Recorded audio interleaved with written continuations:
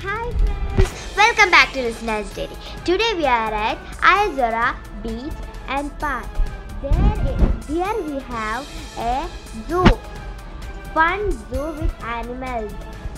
Here we have birds, ducks and other animals. Have fun! Enjoy! Have fun watching this video.